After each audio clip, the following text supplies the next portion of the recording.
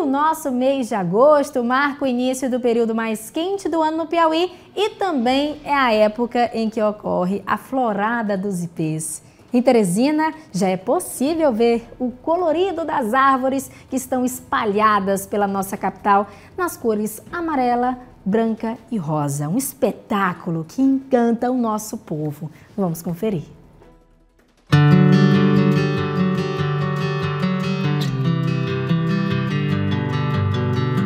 Como já diziam os mais velhos, ipês florindo é sinal que o tempo vai esquentar. O mês de agosto é marcado pela florada dessas árvores.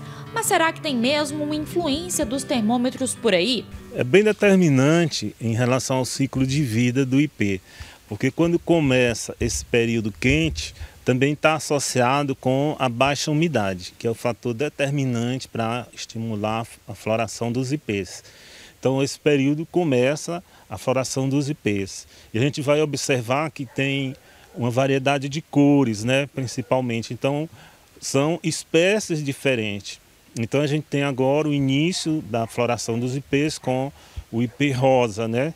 Depois tem o branco e depois vai ter o amarelo, que se destaca mais, porque o período de floração dele é bem maior, vai até novembro, dezembro. As flores brancas, amarelas e rosas colorem o céu teresinense e encantam quem as vê. Mas em especial, o grande escritor, poeta e professor Siné Santos, que não esconde seu fascínio pela planta. Quando eu cheguei a Teresina, em 65, na Avenida Frei Serafim, havia um sobradinho, e ao lado desse sobradinho havia um ipê amarelo. E quando eu vim aqui, quando eu vi aquilo pela primeira vez, eu vou repetir aqui o Manel Bandeira, foi um alumbramento. Eu nunca tinha visto nada mais bonito. E a partir de então, eu passei a apreciar e passei principalmente a plantar onde posso. A convite do professor Sinés, nós saímos pela cidade para conhecer alguns dos ipês que ele plantou.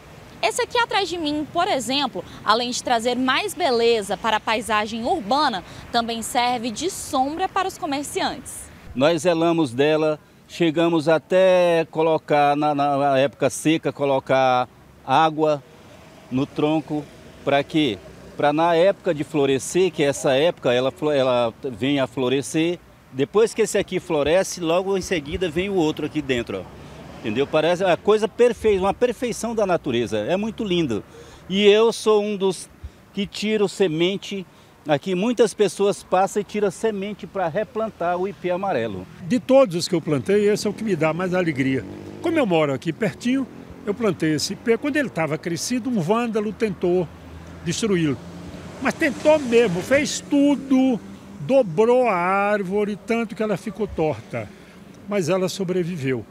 E hoje é um supermercado aqui na região. As pessoas vendem comida, se agasalham aí, vendem coisa e eu adoro esse IP. Eu preciso passar todo dia aqui para olhá-lo. E os IPs, que têm essa ligação especial com o tempo e são símbolo teresinense, têm também um significado pessoal para o seu apreciador.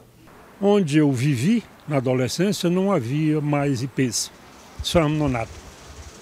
Além de ser uma região árida, o IP é uma madeira de boa qualidade, madeira nobre, e foi utilizado para fazer construção de casas e tal.